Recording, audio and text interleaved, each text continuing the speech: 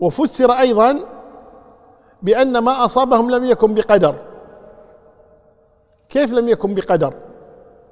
الله تبارك وتعالى لا يفعل شيئا إلا وقدره سبحانه وتعالى.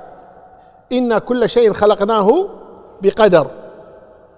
فمنكر القدر الذي لا يؤمنون بالقدر كفار لأنهم كافرون بركن من أركان الإيمان فالذي لا يؤمن بالقدر كالذي لا يؤمن بالله كالذي لا يؤمن بالرسل كالذي لا يؤمن بالملائكة أو أو الكتب أو اليوم الآخر. فالإيمان بالقدر ركن من أركان الدين.